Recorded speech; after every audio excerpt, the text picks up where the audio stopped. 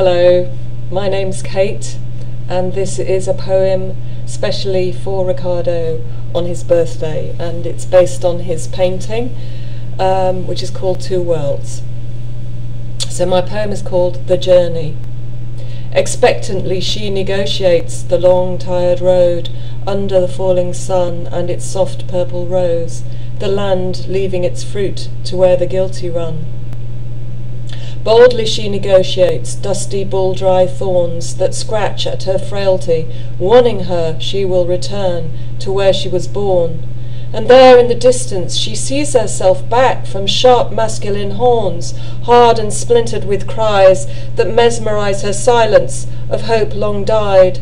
Sadly she negotiates the dark sea-greyed breast hills of her past, mother's pomegranate crimson veins drained, and the light overcast. And there, in the distance, lies the split in the rock, the entrance to leisure, and the pain it will block. And as she reaches the border of herself and her lover, she finds herself blurred to the memory of summer.